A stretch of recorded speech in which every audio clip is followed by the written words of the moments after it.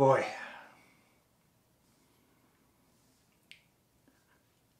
I think I've been at the vice a little bit too long. Holy smokes.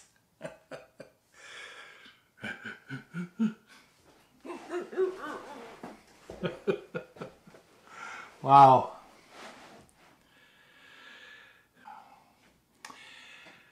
Although I am committed, should be committed, I am committed while we're in this lockdown situation to teaching myself new things. One of the new things I'm teaching myself to do is to try new beers. Well, I guess that's not really new. I've always done that. But the beers are new.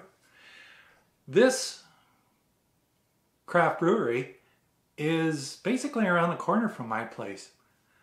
The beer is amazing. This is a Sunburst.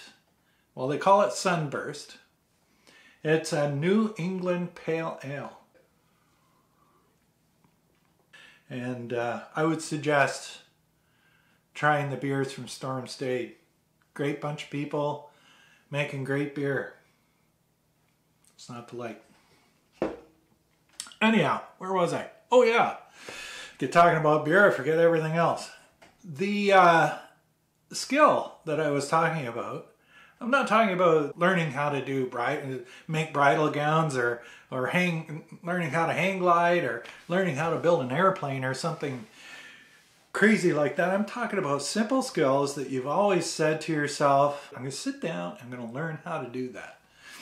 And one of those things that I've been meaning to teach myself is how to do a proper whip finish. And what I mean by proper whip finish is kind of like the most accepted way of doing a whip finish. I do it with two hands. It's a little unorthodox, a little clunky, uh, but it works for me. It came out of necessity because every time I went to look for one of these, I couldn't find it. My scissors stay right in my hand the whole time I'm tying a fly. Sometimes it gets a little dangerous, but at least when I need the scissors to do things, they're there. The uh, whip finish that I decided to learn how to do is the magical one that all the professionals uh, seem to be able to do. So I watched about six different YouTube videos trying to figure out how to do it.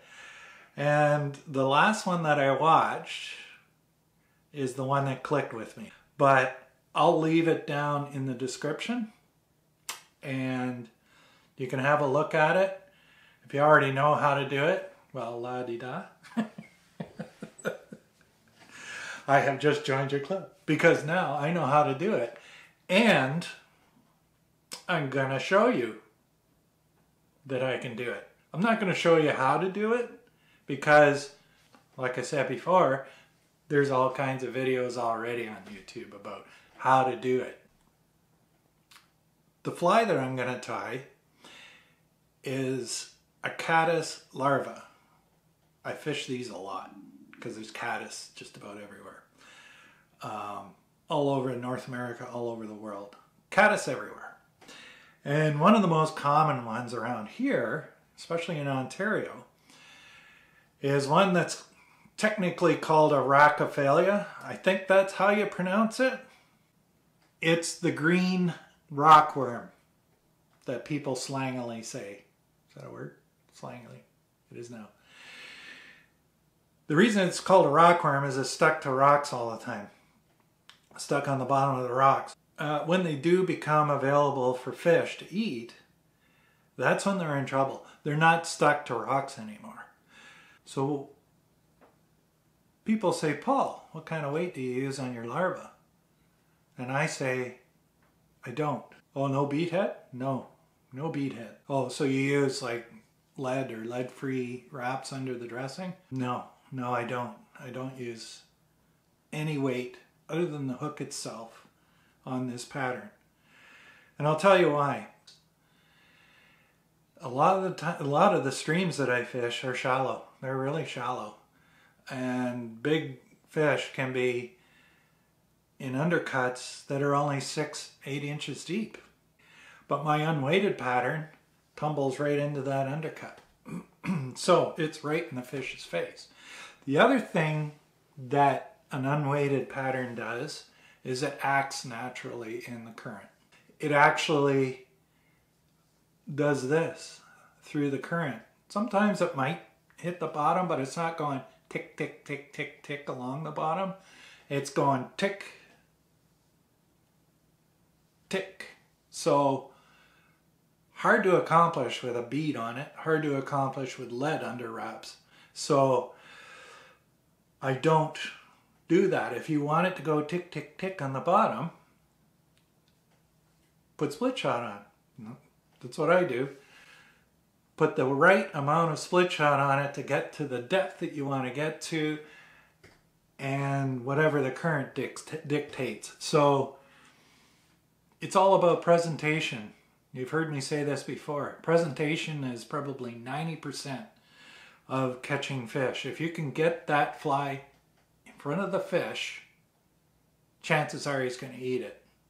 By the way, if you guys are working on any skills during this lockdown, or if there's skills that you've always wanted to learn, and maybe this video might inspire you to go ahead and do it because you got nothing else to do,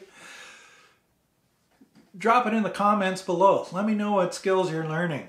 Fishing, hunting, uh, camping, bushcraft, any of that sort of thing, canoeing, kayaking. So let me know what you're looking for. Let me know what you're uh, what you're looking to learn during this lockdown. Anyhow, let's go tie this fly.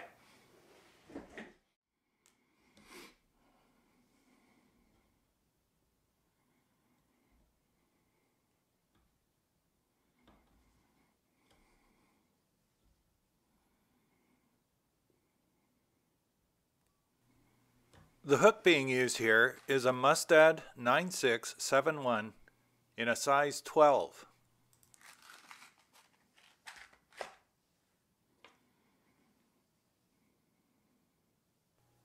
Even though this is a smaller pattern, I'm using a 6-aught thread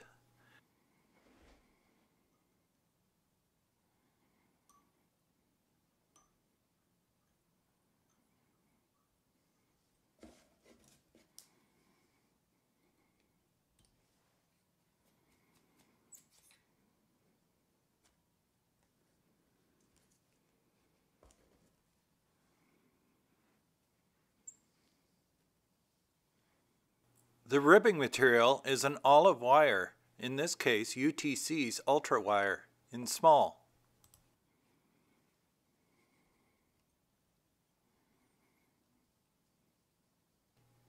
Tie the tip of the wire down with a couple of turns, about a third of the way down the hook shank. The body material is a bright green yarn. Attach it with a couple of turns of thread at the tie-in point of the wire. While holding both the wire rib and the yarn, bind them both down to a point just past the bend of the hook. This saves you the step of binding them both down individually.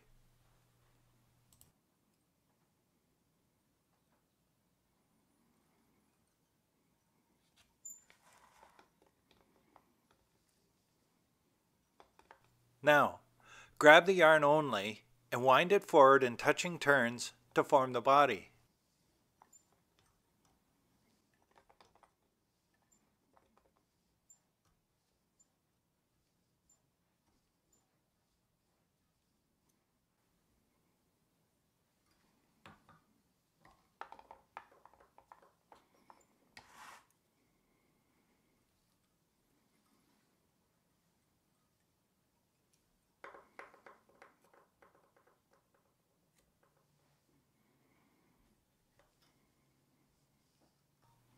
For the rib, you want to counterwind the wire over the body in an open, even spiral.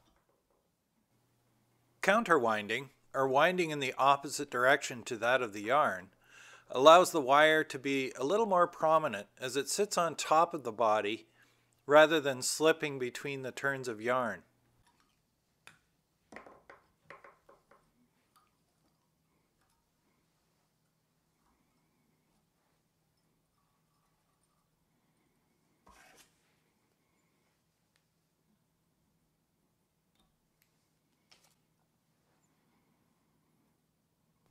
For the thorax, you want to use a black rabbit and Antron blend dubbing. Rabbit for the spiky guard hairs and Antron for a bit of sparkle.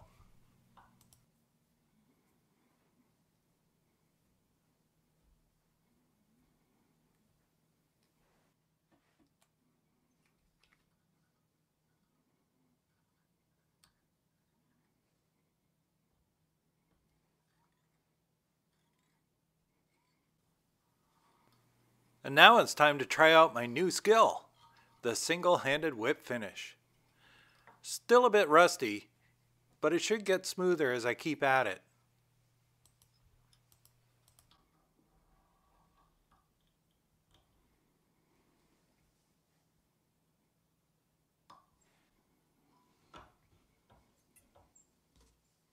The last step is to tease the dubbing out from the bottom. Use a bodkin or a dubbing brush. Don't go nuts with it, just enough to simulate the legs.